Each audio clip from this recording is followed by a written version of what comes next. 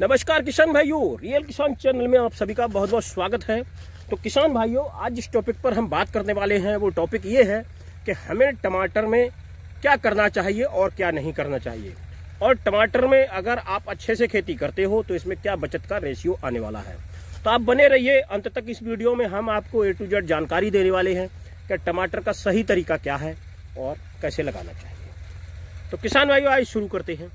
अगर कोई किसान भाई चैनल पर नया आया हुआ है तो चैनल को सब्सक्राइब कर ले, बेल आइकन के निशान को प्रेस करके दबा दे, ताकि आने वाली वीडियो की नोटिफिकेशन आप लोगों को समय पर मिल सके, और दूसरे लोगों को भी शेयर कर दे, ताकि ये जानकारी औरों को भी मिल सके। तो किसान भाइयों, जैसे आप देख रहे हैं हमारे पीछे, ये हमारा टमाटर का फ़ील्ड है। ये हमने जो टमाटर का फ़ील्ड है, ये हमने दो तरीके से लगाया हुआ है।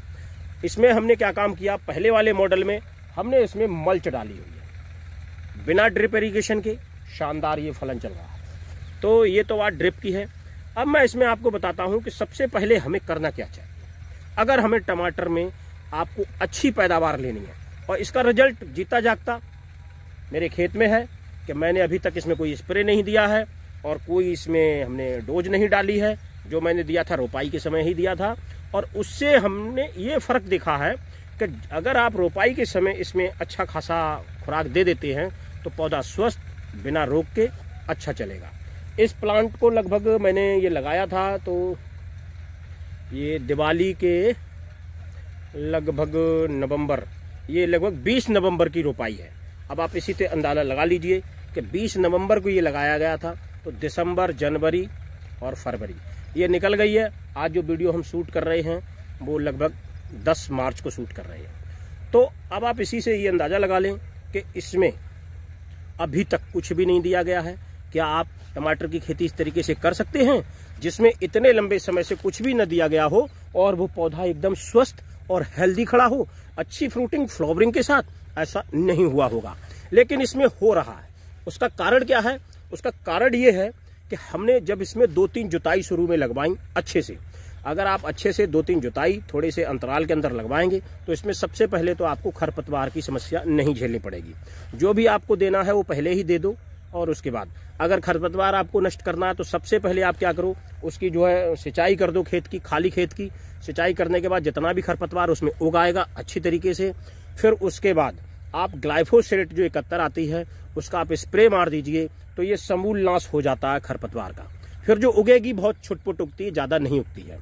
बाद में आपको हर्बिसाइड नहीं देना चाहिए, क्योंकि आपके फ्रूट के अंदर उसका रासायनिक तत्व तो मौजूद हो जाता है तो वो नुकसानदायक है। तो इसलिए बाद में नहीं करें, पहले ही कर लें। अब दो तीन बार अच्छे से जुताई करें। जुताई करने के बाद अच्छे से बेड प्रिपरेशन करें। बेड प्रिपरेशन के दौरान आप लोग वहीं पे गलती करते हो कि बेड की जो चौड़ाई है, वो कम से कम ऊपर की दो फीट होनी ही चाहिए। हमने भी कोशिश की है ये लगभग तीन, साढ़े तीन फीट करने की, लेकिन हमारे यहाँ वो बेड मेकर नहीं है। हाथों से बनवाई तो कुछ, कोई छोटी, कोई बड़ी हो गई है। ये हमारा पहला एक्सपीरियंस था मल्चिंग पे लगाने का और कुछ खुले में लगाने का। बाकी तो मैं पहले से ही खेती कर रहा हूँ इसकी, लेकिन अब की मैंने कुछ डिफरेंट तरीके से किया है। तो आप उसको अच्छे से जुताई करा लें। जुताई कराने के बाद अब मूल बात यहाँ पर आती है कि जब आप रोपाई करने जाएँगे तो रोपाई से लगभग एक हफ़्ते पहले आप जब टमाटर की रोपाई करेंगे तो आप दो फिट पे या डेढ़ फिट की जो भी आप उचित समझे, उस दूरी से लगा दें। वैसे सर्दियों में अगर लगाना है तो दो फीट की और नहीं तो डेढ़ फीट। लेकिन मैंने दो दो फीट पे ही लगाया है। क्योंकि बयालीस छियासठ हमारी वैरायटी थी तो एनएस की बयालीस छियासठ जो है बहुत ज़्यादा फैलती है, बड़ा पौधा होता है और लंबा जाता है। तो ये फैला भी बहुत है। तो हमने ये दो फिट पर लगाया था। हम उसको एक हफ़्ते पहले आप उसमें गड्ढे कर लें। गड्ढे करने के बाद आप उसमें एक मिक्सर बनाएँ। मिक्सर आपको कैसे बनाना है, आप इसको नोट कर लें।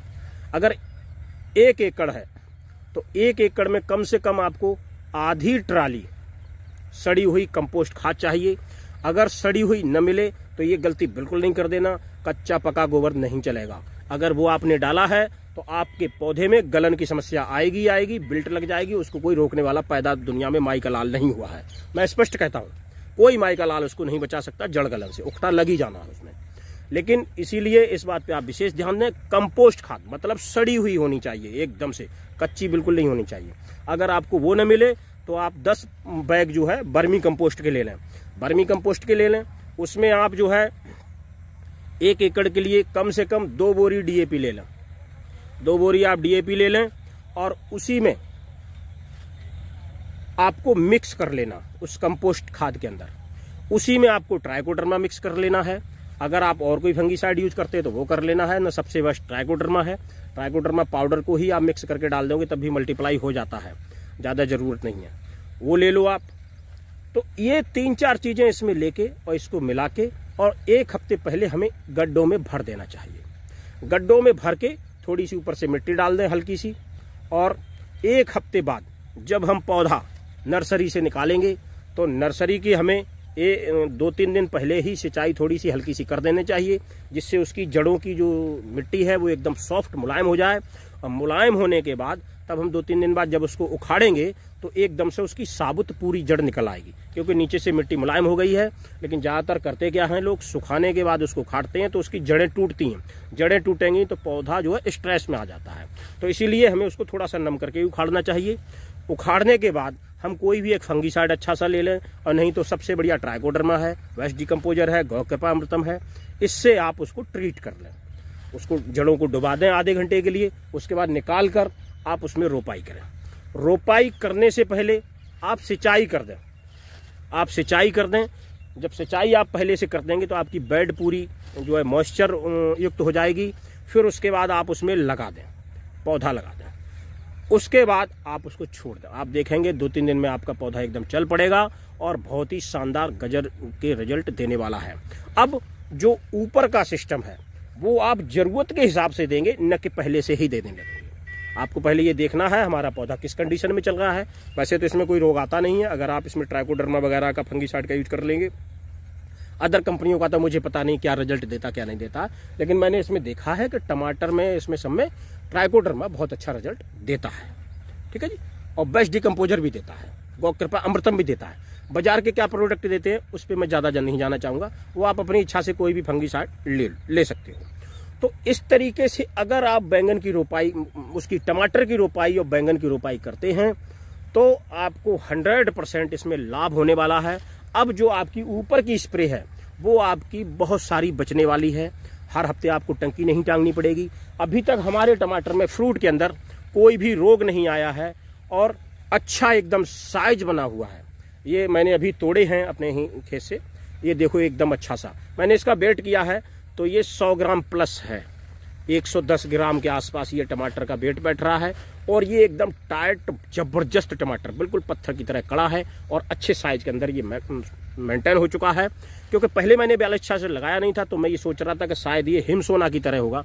लेकिन ये एकदम देसी सेगमेंट में है, आप देखो नज़दीक से इसका, ये बिल्कुल देसी सेगमेंट में है, और एकदम ये गजब का फ्रूट है। अच्छी सी खटास है अच्छा सा साइज़ है, और एकदम टाइट है।